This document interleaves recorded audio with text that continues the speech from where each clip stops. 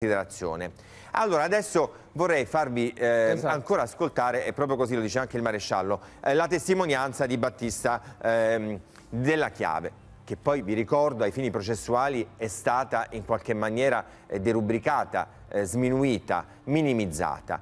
Eh, però il racconto viene ritenuto attendibile, lo dice anche il maresciallo, e c'è la ricostruzione fatta egregiamente da Federica Sciarelli e chi l'ha visto, recente, nella quale eh, gli esperti documentano parola per parola ciò che dice con il linguaggio dei segni.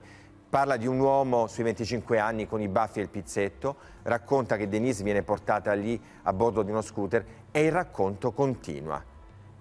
Si è inventato tutto? Chi può dirlo? Da quello che capiamo, no. Alessandro d'Alessandro.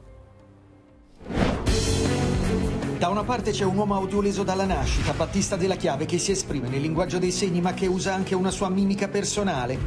Dall'altra ci sono luoghi e persone che rivelano corrispondenze che lasciano sbalorditi. Dal racconto di Battista, l'unico che avrebbe assistito al presunto rapimento di Denise, emergerebbe il percorso effettuato dai rapitori della bambina.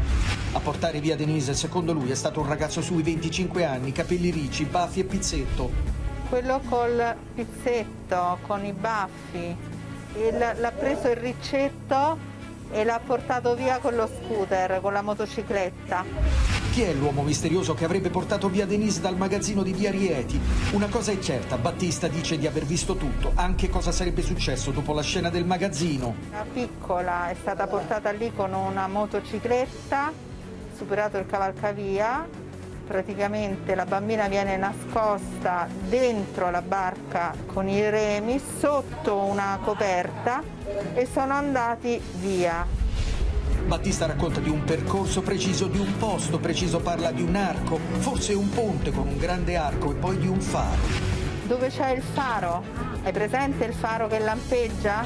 Il faro. Io ero lì, ero lì come un palo.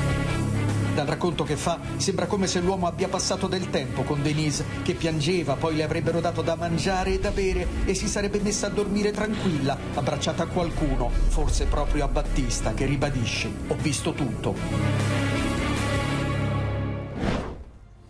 Fanno impressione queste ricostruzioni e questo documento.